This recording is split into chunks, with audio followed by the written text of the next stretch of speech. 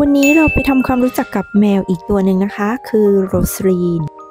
วันนี้จะจับโรสลีน grooming ซะหน่อยค่ะ เพราะว่านางไม่ได้เข้าร้านตัดขนมาประมาณ 6 เดือนแล้วขนก็ฟูจนร่วงเต็มบ้านไปหมดนะคะ วันนี้ที่เชียงใหม่อากาศร้อนจริง ๆ ค่ะ เราต้องตัดไปแล้วก็พักไปนะคะ เพราะว่าข้างนอกเนี่ยไม่มีลมเลยจะตัดในบ้านก็ไม่ไหวนะคะ ขนปลิวทั่วไปหมด แล้วโรสลินเองก็ชอบยุกยิกค่ะ พอถ่ายไปตรงช่วงก้นนะคะ นางก็จะพยายามยกอยู่ตลอดเลยนะคะ น่าจะจักระจีค่ะ แล้วก็เอาหางสะบัดสะบัดไปมาตลอดเลยนะคะทำให้ขนปลิวไปทั่วเลยค่ะ นี่ก็คือพักไปแล้วรอบหนึ่งนะคะ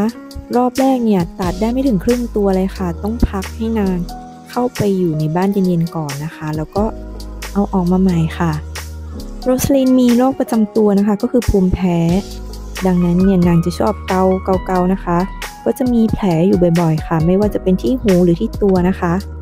ทำให้เราจะต้องมันตัดขนนางค่ะ เพื่อที่จะเช็คดูนะคะ แต่หลังๆมานี่นางไม่ค่อยเครียดนะคะ อาการภูมิแพ้เลยไม่กำเริบนะคะ เราก็เลยเลี้ยงขนนางซะจนฟูไปถึงตั้ง 6 เดือนเลยค่ะ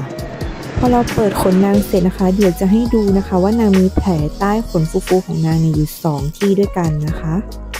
ซึ่งแผลเกานั้นเนี่ยก็ค่อนข้างจะแห้งแล้วนะคะเอาละค่ะ เราก็จะตัดได้แค่บางส่วนนะคะ อย่างช่วงใต้ท้องหรือว่าตรงขาเนี่ยเราไม่สามารถที่จะไปยุ่งกับนางได้นะคะ เพราะว่าสุ่มสิ่งจะเข้าเนื้อด้วยค่ะ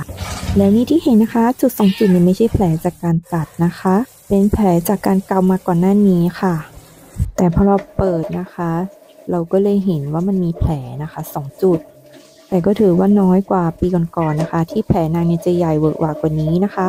นั่นก็แสดงว่าปีนี้เนี่ยนางไม่ค่อยจะมีอาการภูมิแพ้มากเท่าไหร่อันนี้เนี่ยแผลค่อนข้างเล็กแล้วก็กำลังจะแห้งแล้วนะคะ ก็ถือว่าภูมิคุ้มกันนางในช่วงปีนี้ค่อนข้างดีค่ะ เราจะพยายามรักษานางโดยการไม่ใช้ยานะคะ เพราะว่ามันจะทำให้ภูมิตกค่ะ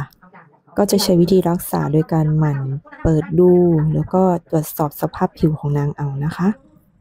อาบน้ำเรียบร้อยแล้วนะคะ เนื่องจากว่านางตัวหอมนะคะ เพื่อนๆก็มารุมดมกันใหญ่เลยค่ะ เพราะว่าแปลกกลิ่นนะคะ Feel me.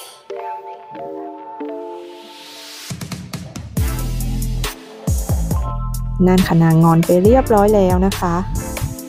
หลังจากที่เราจับนางเช็ดตัวแล้วก็แคะหูนะคะ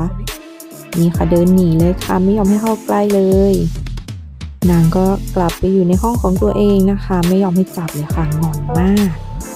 พอช่วงค่ำๆนะคะนางก็เริ่มโผล่ออกมาแสดงตัวค่ะ นี่หายงอนนะคะ จับนางอุ้มได้แล้ว ก็ยังเล่นตัวอยู่นะคะ ดูค่ะยุกยิกยุกยิกไปมานะคะ เหมือนจะงอนแรงค่ะ พอโดนอุ้มโดนกอดเสร็จนะคะ ก็ไปเลียตัวค่ะ เหมือนว่าจะทำความสะอาดอีกรอบหนึ่งนะคะ ไม่พอใจ